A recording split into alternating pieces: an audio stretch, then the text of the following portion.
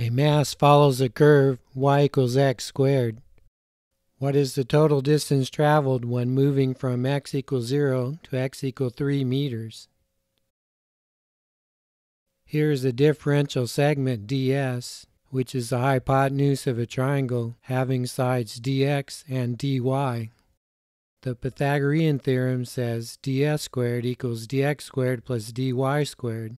We factor out the dx squared and we integrate to find the total distance traveled, TDT, which is the total path length S we find by adding up all the little pieces of path lengths ds, which is an integral of the square root of 1 plus dy dx squared. And here we integrate from x equals 0 to x equals 3. Since dy dx is 2x, our integrand is the square root of 1 plus the quantity 2x squared and numerical integration gives 9.7 meters.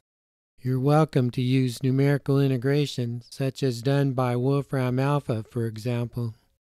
If this distance is traveled in delta t equal 4.6 seconds, then the average velocity is v bar equals TDT over delta t, and we get 2.1 meters per second.